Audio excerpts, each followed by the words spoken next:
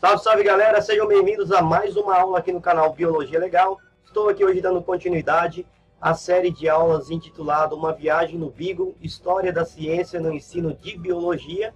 E hoje estarei falando aí da volta de Darwin para a Inglaterra e o desenvolvimento aí da teoria da evolução biológica através da seleção natural. E também estaremos falando sobre a importância do estudo da seleção artificial dos pombos para o desenvolvimento do conceito de seleção natural.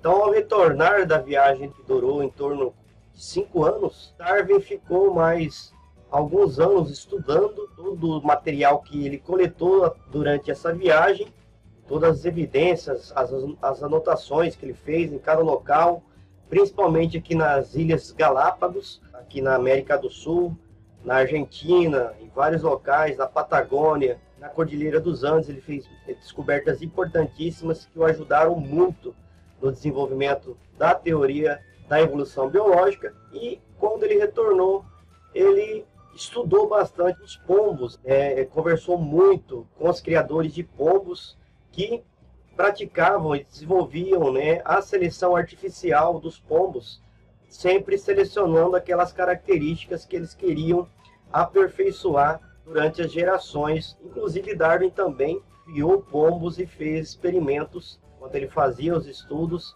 enquanto ele escrevia o seu livro e a teoria da evolução biológica, ele estudou e ele criou também os pombos e conversou muito com os criadores de pombos. Só vale ressaltar também que é de suma importância que você tenha assistido anteriormente o vídeo aí sobre o ensino e aprendizado por investigação, ter assistido a aula 1, 2 e 3 sobre evolução biológica desta, uh, desta série. Então, se você ainda não assistiu essas aulas aí anteriores, eu recomendo que você assista e depois retome aqui para assistir essa quarta aula. Durante esse vídeo, sempre estarei fazendo perguntas para você fazer algumas, é, criar alguma hipótese, desenvolver alguma hipótese. Então, sempre que for feita essa pergunta, dê uma pausa no vídeo crie sua hipótese, vá lá no comentário do vídeo e coloque. E depois você dê continuidade assistindo o vídeo, porque estamos fazendo uma abordagem um pouco diferente da tradicional, abordagem investigativa, onde você, aluno, desenvolve, participa, é protagonista do desenvolvimento do conhecimento.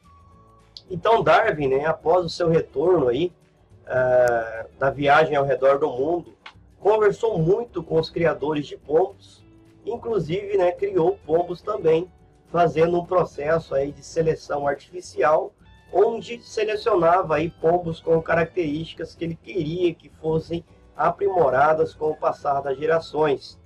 Então, durante esse processo, ele eliminava os pombos aí que não possuíam as características desejadas e procriava os que possuíam as características desejadas.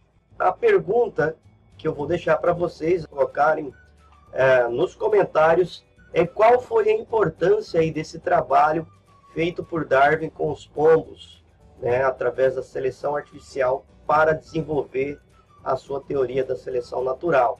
Qual foi a conclusão que Darwin chegou após anos de experiências com esses animais e após anos também de convivência e conversas com os criadores de pomos lá da Inglaterra.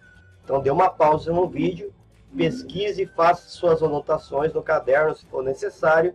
Venha aqui nos comentários e responda, mostrando aqui as figuras, mostrando as vários, vários tipos de pombos que foram desenvolvidos aí através da seleção artificial. E até hoje nós fazemos ainda, principalmente na agricultura, na pecuária.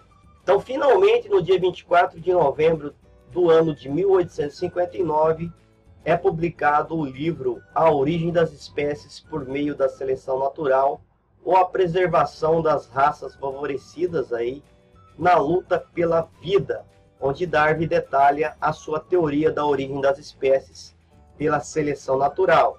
Essa teoria foi fortemente combatida pelos fixistas, porém não conseguiram argumentos e provas que refutassem, que derrubassem essa teoria.